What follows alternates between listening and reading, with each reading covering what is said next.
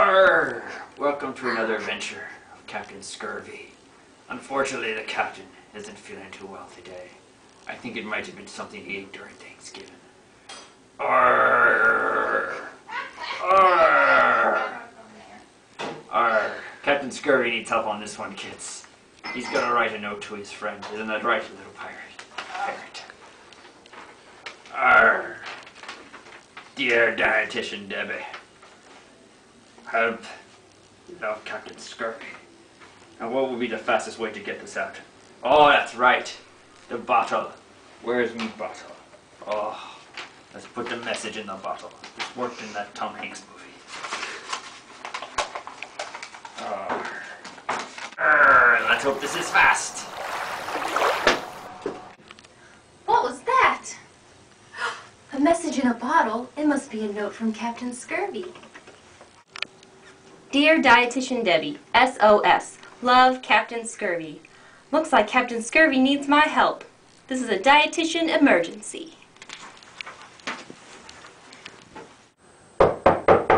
Arr, shiver me timbers, kids. I wonder who that could be.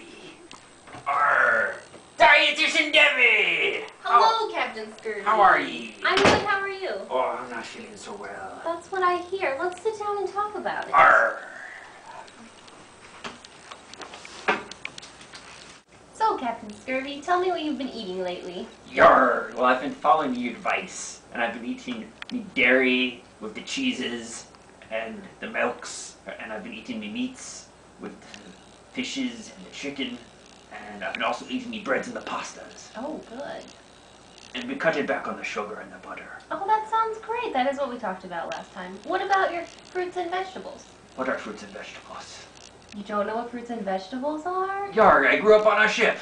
Oh, well, just so happens I brought this basket here of fruits and vegetables. What a delight. Yes, first we have a banana, which is a fruit, very delicious fruit actually.